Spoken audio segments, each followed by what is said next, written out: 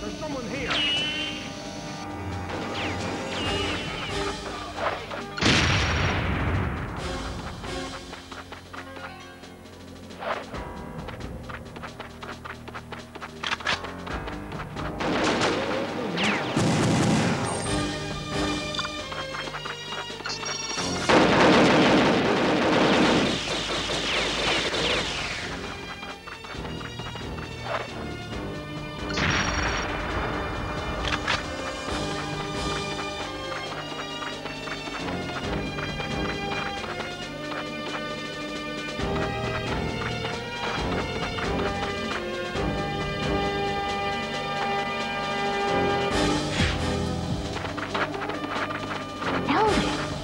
Be able to protect the president.